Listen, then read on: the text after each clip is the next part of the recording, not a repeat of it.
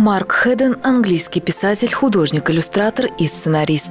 В молодости он работал с людьми, больными аутизмом, что впоследствии помогло ему в написании книги «Загадочное ночное убийство собаки». Именно о ней расскажет заведующий отделом обслуживания Центральной городской библиотеки имени Маяковского Екатерина Скворцова. Мы работали в библиотеке над выставкой, посвященной э, людям с заболеванием под названием аутизм.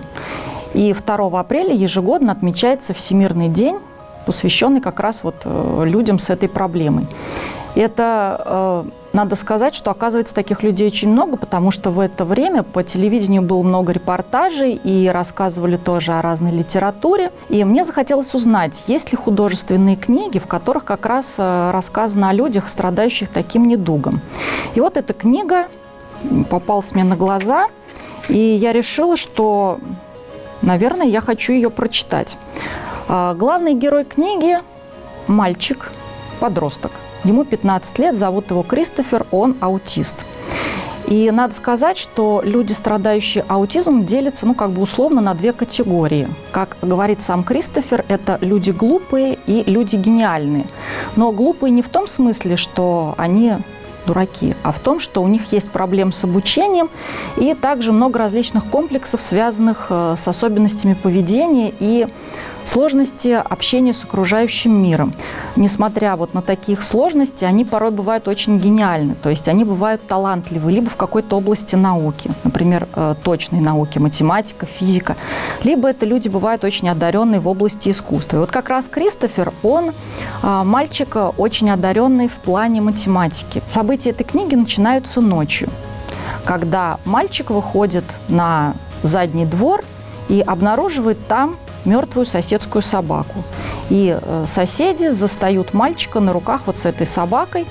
И ему очень трудно осознать, что собака, в общем-то, мертва. Он пытается ей всячески помочь, и осознание того, что это как бы уже конец, происходит слишком поздно. И соседи, зная, что у мальчика такой недуг и проблем с поведением, считают, что, в общем-то, он и есть виновник этого преступления. И тогда Кристофер решает стать детективом. Во-первых, он хочет распутать это дело и доказать, что, э, во-первых, он не причастен к этому убийству собаки по кличке Веллингтон. Во-вторых, он хочет найти истинного убийцу. И, э, судя по названию, конечно же, можно решить, что это детектив. Но на самом деле я так думаю, что это, наверное, скорее получилась книга-дневник вот этого мальчика. И, с одной стороны, она, конечно, очень интересная, интригующая. С другой стороны, она немного грустная. Потому что, когда ты читаешь эту книгу, во-первых, ты начинаешь воспринимать мир э, глазами Кристофера, страдающего аутизмом. И ты понимаешь, что ты можешь только ему посочувствовать и научиться его принимать, а помочь, к сожалению, ты ему не можешь.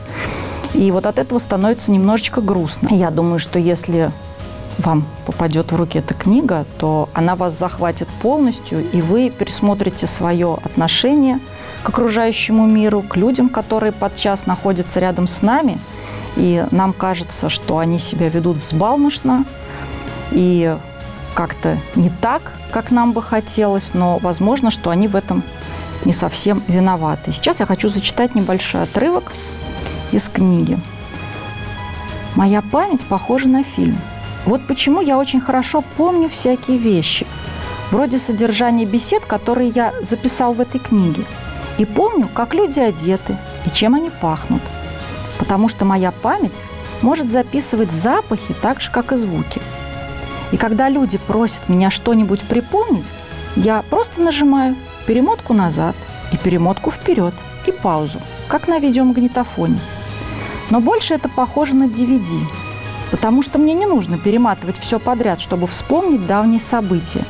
Если кто-то спросит меня, Кристофер, как выглядела твоя мама, я могу вспомнить много разных эпизодов и ответить, как она выглядела в каждом из них.